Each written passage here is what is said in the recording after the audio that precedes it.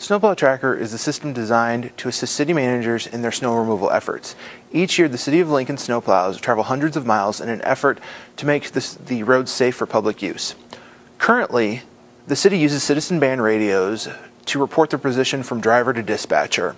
However, if a contractor is brought in during a heavy snowfall, their truck may not be able to be equipped with a citizen band radio. Snowplow Tracker alleviates this problem by providing easy to deploy, tiny devices that automatically report their position, direction, and plow status back to the dispatcher. The information is then displayed on an easy to understand Google map that is highly customizable. Currently, our system is able to support multiple snowplows. We have a control panel on the left side of our user interface, which lists the snowplow ID and a unique color that will represent the route the snowplow has traveled.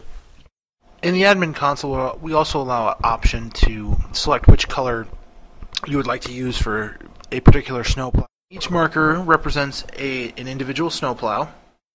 This allows for a, a variable number of snowplows, whether you're a small town like Waverly or a large city like Lincoln or Omaha. You can program a unique number of snowplows and track each of them in a single user interface we basically set up 10 different modes and are tracking 10 different vehicles using our user interface system.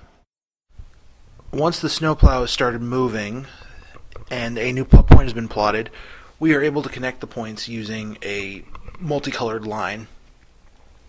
Each point is updated about every 10 seconds, and depending on if there's data, new data in the database or not, Many programs on the market currently do not have a function that allows you to see the route that the snowplow has traveled. You can see the current location, but you cannot see the history of where the snowplow has gone. And that makes our product very unique for today's market.